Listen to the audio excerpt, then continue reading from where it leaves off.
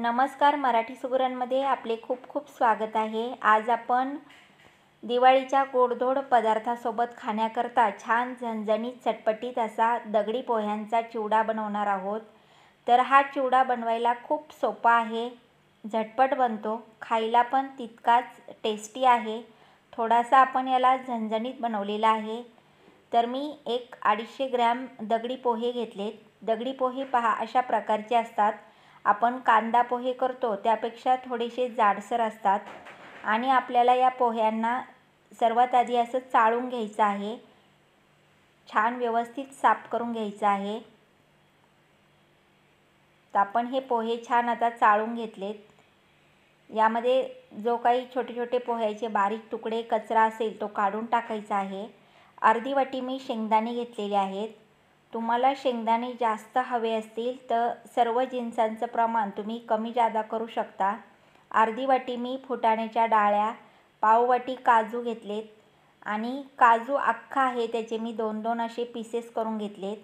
अर्धी वाटी मी सुकं खोबरं असं बारीक उभं कापून घेतले. एक कांडी लसूण मी सोलून पहा अशा प्रकारे कट करून घेतला आहे अख्ख्या लसणाच्या पाकळ्या तेलात घालायच्या नाही. त्या फुटून तेल अंगावर ओढण्याची शक्यता असते. त्यामुळं आपल्याला त्यांचे दोन दोन भाग करून घ्यायचे आहेत. एक चार पाच वाळलेल्या लाल मिरच्या आणि चार पाच हिरव्या मिरच्या मी मधनं कट करून घेतल्यात. बऱ्याच जणांना चिवड्यामधल्या मिरच्या खूप आवडतात. त्यामुळं मी दोन्ही मिरच्या घालते. लाल पण हिरव्या पण आणि कढीपत्ता घेतला एक छोटी वाटी. कढीपत्त्यामुळं आपला चिवडा खूप चविष्ट बनतो. आणि या प्लेटमध्ये एक छोटा चमचा मी चाट मसाला घेतला आहे. चाट मसाल्यामुळं आपल्या चिवड्याला टेस्ट खूप सुंदर येते पहा. तुम्ही एकदा घालून चिवडा करून पहा खूप सुंदर लागतो. हळद घेतली आणि जिरं आणि मोहरी घेतली. आपण पाहिजे तेवढी हळद आणि जिरा मोहरी घेणार आहोत. तर चिवडा बनवण्याकरता आपल्याला हे दगडी पोहे लो टू मिडियम गॅसवरती एक पाच ते सहा मिनिट छान असे कुरकुरीत होईपर्यंत भाजून घ्यायचे आहेत. जास्त गॅस फुल नाही करायचा लो टू मिडियमवरती सावकाश आपल्याला हे भाजायचे आहेत आणि पोहे भाजताना आपल्याला नॉनस्टॉप हलवत राहायचं आहे. नाहीतर मग पोहे करपण्याची शक्यता असते. पोहे भाजायला जास्त वेळ पण लागत नाही. पोहे भाजले एक पाच मिनटानंतर की खूप छान त्याचा असा खरपूस सुगंध येतो आणि अशा हलकासा कलरही बदलतो. फुलतात हे पोहे. छान यावरून ओळखायचं की आपले पोहे भाजलेले आहेत. आणि दुसरी एक मी पद्धत तुम्हाला दाखवणार आहे पोहे भाजले की नाही कसे ओळखायचे. तर एक दोन तीन पोहे असे हातामध्ये चुरगळून पाहायचे. तर पहा किती पटकन असे चुरगळल्या जात आहेत. म्हणजे आपले पोहे छान खरपूस भाजलेले आहेत. तर पोहे इतके व्यवस्थित भाजून घेतले तरच हा चिवडा खायला एकदम चवदार लागतो. आता आपण जवळून मी तुम्हाला दाखवते. पहा पोहे किती छान फुललेत. हलकासा एकदम हलकासा असा गोल्डन कलर आलेला दिसतोय कुडे कुडे. आता पोहे आपण काढून घेतलेत परातीत. त्याच कढईमध्ये मी आता थोडंसं तेल घातलेलं आहे. आणि हा चिवडा आपण बिलकुल ऑइली नाही बनवलेला. तेल गरम झाल्यावर आपल्याला हे शेंगदाणे तळून घ्यायचे आहेत तेलामध्ये. तर आपल्याला हलकेसे गोल्डन होईपर्यंत हे शेंगदाणे तळून घ्यायचे आहेत. एक चार ते पाच मिनिट लागतात शेंगदाणे तळायला. शेंगदाणे तळले की असा चटचट आवाज येतो आणि शेंगदाण्याची टरपलं थोडी थोडी अशी जागा सोडतात. त्यावरनं ओळखायचं आहे की आपली शेंगदाणे छान तळलेले आहेत. आणि अशा प्रकारे आपण यांना काढून घेऊया दुसऱ्या झाऱ्यामध्ये. म्हणजे व्यवस्थित तेल निथळून जातं. तर जवळून मी तुम्हाला दाखवते. पहा किती छान आपण शेंगदाणे तळून घेतलेत. आपण आता हे शेंगदाणे या पोह्यांवरती काढून घेऊया. आता त्याच तेलामध्ये आपण खोबरं पण तळून घेणार आहोत. तर खोबरं तळायला फक्त एक ते दोनच मिनिट लागतात. आणि खोबरं तळताना सारखं हलवत राहायचं आहे नाही तर मग एक साईडनी खोबरं करपण्याची शक्यता असते. हलकंसं खोबरं आपलं गोल्डन झालेलं आहे. तर या स्टेजला आपण याला काढून घेणार आहोत. जास्त पण डार्क कलर नाही येऊ द्यायचा नाही तर मग खोबरं चिवड्यामध्ये खायला चविष्ट लागत नाही. त्यामुळं अशा प्रकारे आपल्याला खोबरं तळून झालं की लगेच काढून घ्यायचं आहे. व्यवस्थित तेल निथळून घेतले आपण आणि मग ह्या पोह्यांवरती हे खोबरं काढले तेल शिल्लक आहे त्यामध्येच आपण हे काजू घातलेत. फक्त एकच मिनिट काजू आपल्याला गरम करायचे आहेत जास्त नाही गरम करायचे. असे तेलामध्ये काजू गरम केले की खूप सुंदर लागतात चिवड्यामध्ये खायला. तर लगेच काढून घेऊया आणि तेल व्यवस्थित निथळून घ्यायचं आहे आपल्याला. तर मी ह्या काही जिन्सा घातल्या चिवड्यामध्ये शेंगदाणे खोबरं काजू डाळ्या. मिरच्या याचं प्रमाण तुम्ही तुमच्या आवडीनिवडीनुसार कमी जादा करू शकता. तर पहा काजू एक मिनटात किती छान तळलेले आहेत. याच तेलात आपण डाळ्या पण हलक्याशा तळून घेणार आहोत. जास्त पण डाळ्या तळायच्या नाही नाही तर मग त्या अशा आकसल्या जातात आणि कडक बनतात. तर एकच मिनिट आपण यांना तेलात तळल्यानंतर लगेच काढून घेणार आहोत.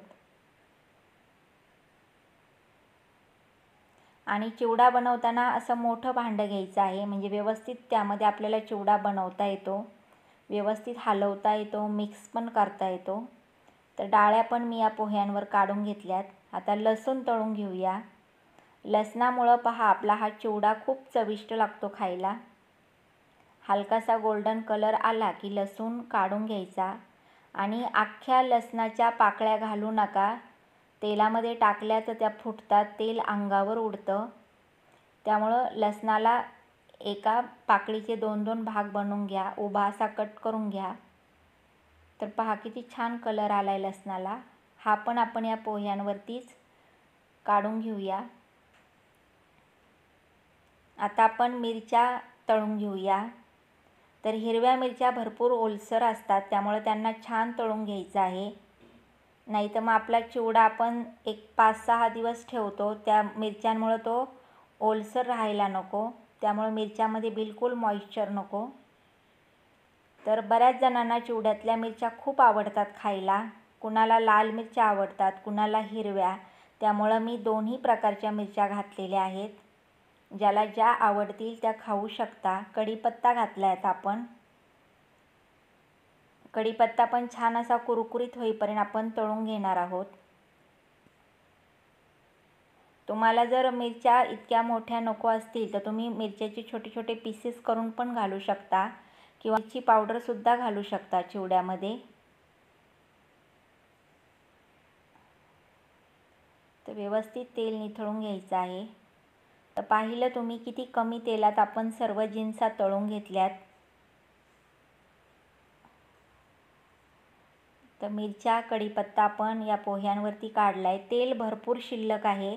इतकं तेल आपल्याला नको आहे. मी हे कमी करणार आहे. आणि फक्त एकच चमचा तेल मी कढईत ठेवलं आहे छोटा चमचा आहे. त्यामध्ये एक छोटा चमचा जिरं एक छोटा चमचा मोहरी घातली. जिरं मोहरी छान तडतडलेली आहे. त्यानंतर आपल्याला एक छोटा चमचा हळद घालायची आहे. तर हळद तेलामध्ये घालायची आहे. म्हणजे छान तळून निघते आणि आपण ज्यावेळेस हे पोहे कढईत घालतो त्यावेळेस व्यवस्थित हळद पोह्यांना स्प्रेड होते. बरेच जण विचारतात चिवड्यामध्ये हळद वर्ण घालायची का कशी घालायची? की जेणेकरून चिवडा व्यवस्थित आपला पिवळसर बनेल. तर तुम्ही तेलामध्येच हळद घाला म्हणजे व्यवस्थित पोह्यांना अशी कोट होते. वर्ण हळद घातली तर काही ठिकाणी जास्त पोह्यांना पिवळसर कलर येईन काही ठिकाणी येणार नाही. त्यामुळं तेलात हळद घातली की व्यवस्थित हळद तळल्या जाते. टेस्ट पण छान लागते आणि व्यवस्थित पोह्यांवरती स्प्रेड पण होते. आता मी गॅस लो केलेला आहे. ज्यावेळेस आपण जिरं मोहरी हळद तळली तेव्हापासून गॅस आपल्याला लो ठेवायचा आहे. आणि हा चिवडा आता आपल्याला लो गॅसवरती एक तीन मिनिट सारखं हलवत गरम करायचं आहे. आता मीठ घातलं आहे चवीनुसार. चाट मसाला घालूया. आणि व्यवस्थित हा चिवडा आपण मिक्स करून घेऊया. आणखीन एक तीन मिनिट आपण याला गरम करून घेणार आहोत. म्हणजे आपला चिवडा छान असा कुरकुरीत क्रिस्पी बनतो. तर बघा आता आपला चिवडा जवळजवळ तयार झालेला आहे. आणि किती छान असा मोकळा मोकळा बनला आहे आणि बिलकुल ऑइलीसुद्धा नाही आहे पाहिलं तुम्ही? किती कमी तेलात आपण सर्व जिन्सा तळून घेतल्यात. राहिलेलं तेल पण काढून घेतलेलं आहे. तर तुम्ही दिवाळीला हा दगडी पोह्याचा चिवडा नक्की बनवा. खूप सुंदर लागतो खायला. तर पहा मी जवळून दाखवते किती छान हळद पण स्प्रेड झालेली आहे पोह्यांवरती. आणि दोन तीन पोह्याचे मी तुम्हाला तुकडे चुरगळून दाखवते. किती व्यवस्थित क्रश होत आहेत. म्हणजे खूप छान असा क्रिस्प आपल्या चिवड्याला आलेला आहे. आता एक दोन तीन मिनिट झालेले आहेत. आपला चिवडा पण तयार आहे. गॅस बंद करूया आणि हा चिवडा आपण दुसऱ्या भांड्यात काढून घ्यायचा परातीमध्ये. पूर्णपणे थंड झाल्यानंतर एअरटाईट डब्यामध्ये भरून ठेवा.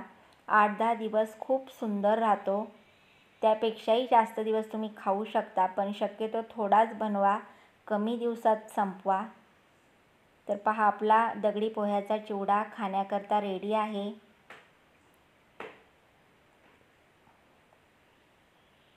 तर तुम्हाला माझा हा चिवडा आवडला असेल तर माझ्या रेसिपीला लाईक करा शेअर करा. माझ्या चॅनेलला जर तुम्ही सबस्क्राईब केलं नसेल तर प्लीज प्लीज माझ्या चॅनेलला लगेचच सबस्क्राईब करा. धन्यवाद.